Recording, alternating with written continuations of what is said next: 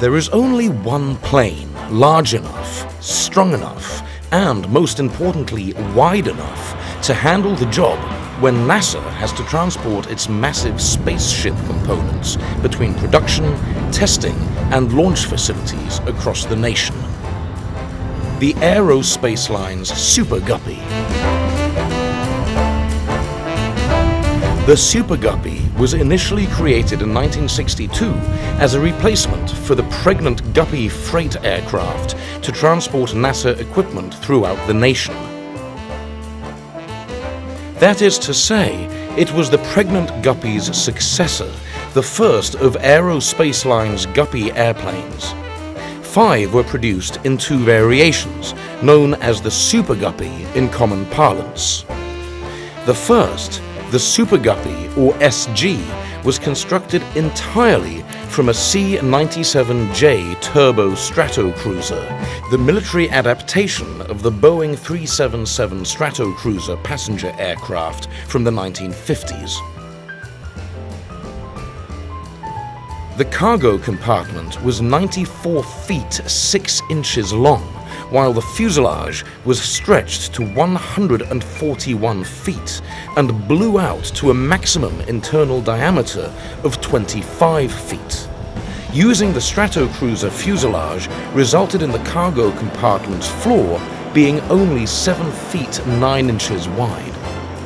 The Super Guppy employed redesigned wing and tail surfaces in addition to upgraded Pratt & Whitney T34 P7WA turboprop engines for improved power and range. It could travel at a speed of 300 miles per hour and carry a payload of 54,000 pounds.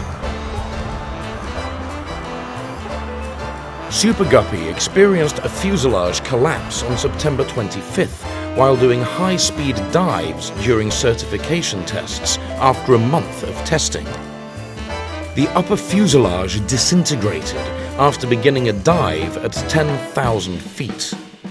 The 100-pound sacks containing the 30,000 pounds of borate being transported by the aircraft were ruptured, spilling powder that briefly rendered the crew blind. The crew could land on the dry bed of Rogers Dry Lake and save the aircraft with the aid of a DC-9 chase plane. At Edwards Air Force Base, Guppy's upper superstructure was later redesigned and reconstructed. Despite using turboprop engines like the first Super Guppy, the second model was formerly known as the Super Guppy Turbine or SGT. In this variation, turboprop's Allison 501D22C were used. However, the successor Super Guppy Turbine or SGT was completely original and not based on anything. SGT has a 156-foot wingspan and is 143 feet long and 37 feet tall. It has an internal cargo bay 25 feet tall, 25 feet wide, and 111 feet long, or 39,000 cubic feet of cargo space.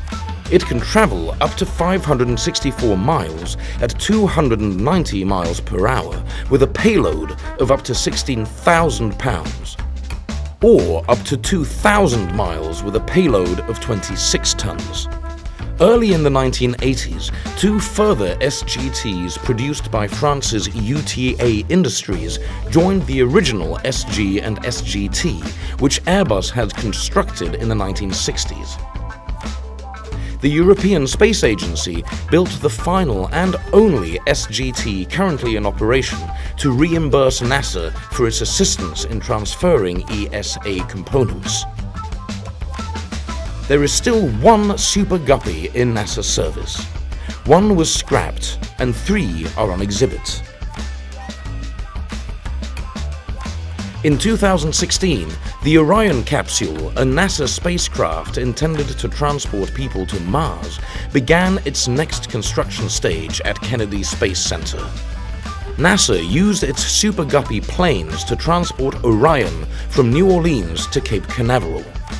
The payload was fairing and transported to Space Launch Complex 41 for lifting and mating to the Atlas V rocket for a launch targeted for September 8th. The heat shield container was unloaded from the Guppy and transported to the high bay of the Neil Armstrong Operations and Checkout Building. The Apollo program served as Super Guppy's genesis. It was used to transport pieces of the Saturn V rocket from California to Florida in the 1960s. The alternative NASA had was to transport rocket stages across the Panama Canal, although this often required an additional few weeks or months.